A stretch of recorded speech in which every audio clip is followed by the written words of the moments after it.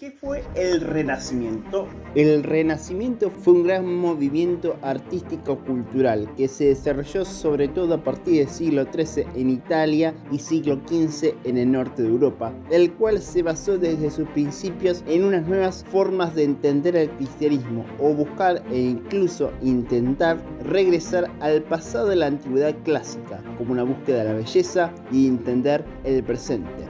Durante su apogeo se usaron técnicas como el esfumato, la pintura al óleo, el afresco, los grabados. Se crearon obras con ideas filosóficas o matemáticas o con diferentes contrastes de luz y color. También resurgieron tipos de obras como el retrato, tanto real como ideal, el paisaje, las alegorías y las cúpulas, entre otros elementos y creaciones.